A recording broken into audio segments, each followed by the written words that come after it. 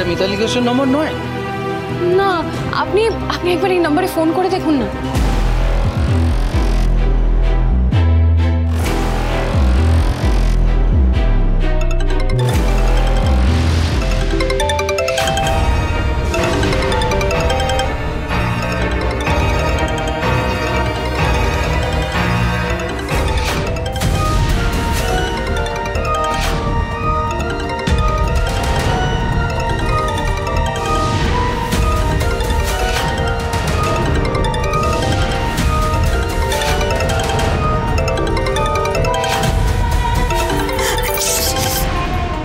বাড়ির ভেতরে বাজছে।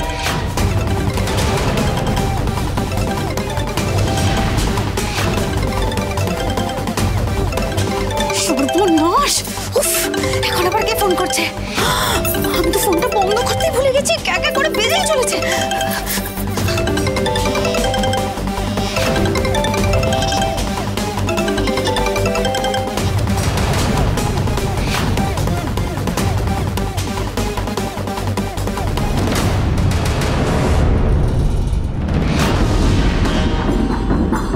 ফোনটা তো কেউ একজন কেটে দিল।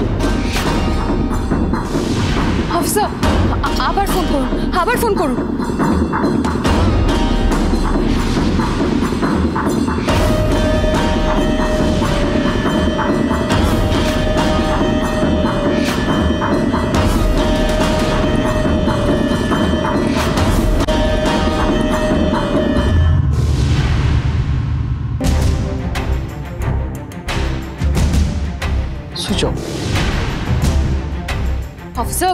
যে থানায় ফোন করেছিল আন্টি নামে অভিযোগ জানিয়ে সেই বাড়িতেই কোথাও লুকিয়ে আছে।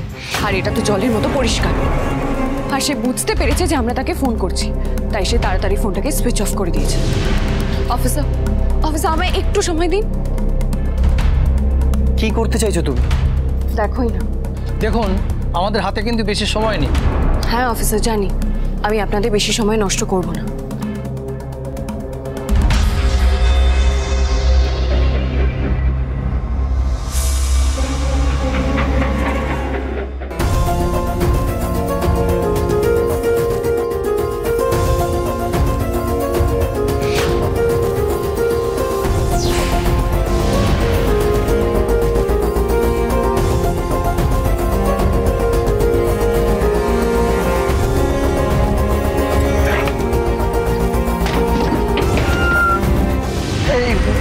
ভাস্কর দেখ না কি হয়েছে। হ্যাঁ, দেখ দেখ দেখ। মামা তুমি এখানে থাকো আমরা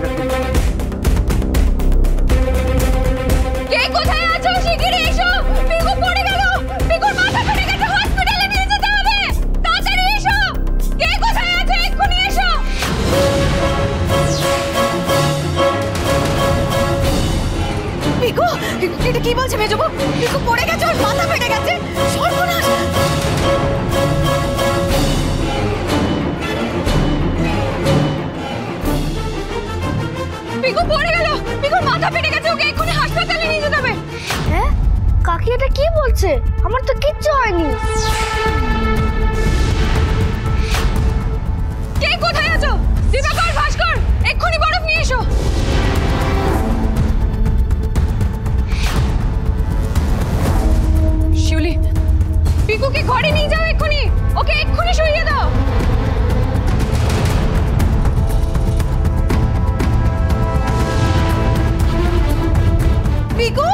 পিকু কি হয়েছে তোর পিকু পিকু কি- কি হয়েছে পিকু পিকু পিকু পিকু কি হয়েছে তোর পিকু পিকু পিকু পিকু পিকু পিকু পিকু পিকু কোথায় পিকু পিকু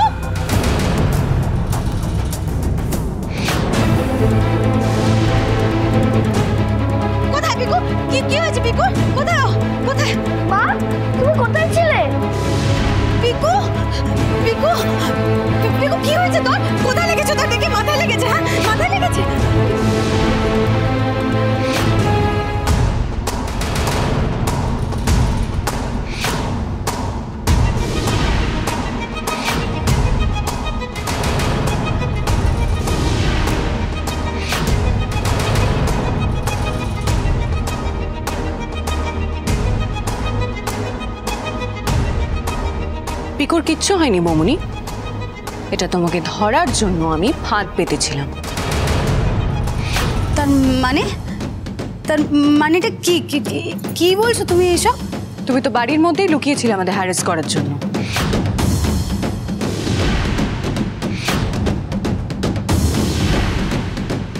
কি? এইসব তুমি কি বলছো মেজো বউ কেন তুমি থানায় জানাওনি আন্টি নামে? অভিযোগ জানাওনি? এই তো অফিসার এসেছেন। আমি? আমি কেন থানায় ফোন করতে যাব? কই? কই, আমার কাছ থেকে যে আপনাদের কাছে ফোন গেছিল, সেটা দেখান তো। সেখানেই তো তোমার চালাকি বমুনি তুমি অন্য সিম ব্যবহার করে ফোন করেছিলে। তুমি কি ভাবলে? তুমি সিমটা বদলে ফেললেই তুমি পার পেয়ে যাবে? কিন্তু প্রত্যেক অপরাধী কোনো না কোনো প্রমাণ রেখেই যায়।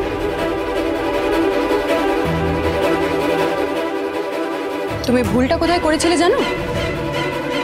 অফিসার যখন তোমাকে ফোন করেছিল অন্য নম্বরে তুমি কলটা ডিসকানেক্ট করে দিয়েছিলে।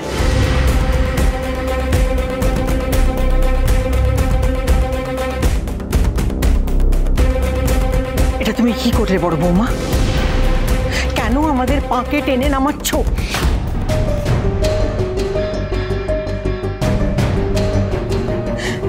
আমাদের এই সুন্দর সংসারটাকে ধ্বংসের দিকে ঠেলে দিতে চাইছো।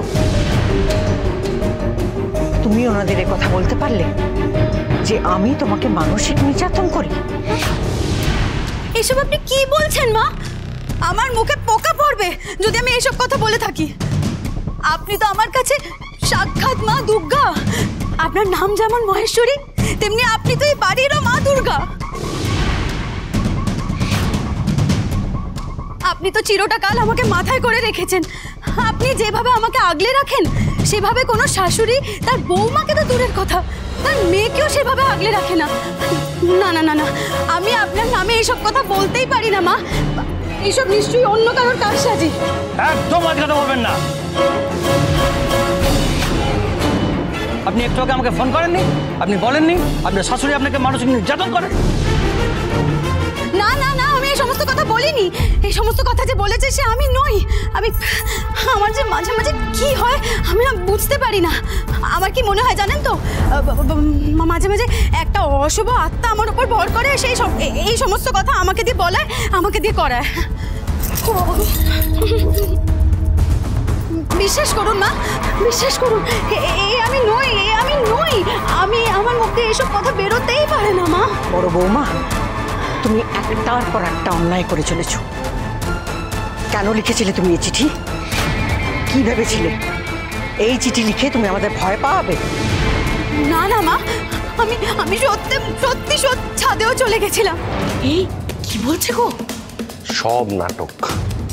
কিন্তু কিন্তু আমার সামনে আমার সন্তানের মুখটা ভেসে উঠল। আমার পিকুর মুখটা ভেসে উঠল। তখন আমি ভাবলাম যে আমি কি করি কি করি? তখন তখন আমি মেজবর চিৎকার শুনতে পেলাম। কাছে ক্ষমা চাওয়ার মুখ নেই। মা মা, আপনি কিন্তু আমাকে ক্ষমা করবেন না। কেনই বা করবেন বলুন? আমি তো দোষ করেছি, আমি তো অন্যায় করেছি, আপনি আমাকে ক্ষমা করবেন না। আমাকে আপনি শাস্তি দিন, যে কোনো শাস্তি দিন, যা হোক শাস্তি দিন, আমি সব মাথা পেতে মেনে নেব। আমি যে ক্ষমার অযোগ্য, মা, আমি যে ক্ষমার অযোগ্য হরগৌরী বাইস হোটেল, সোম থেকে রবি প্রতিদিন রাত দশটায়, স্টার জলসায়।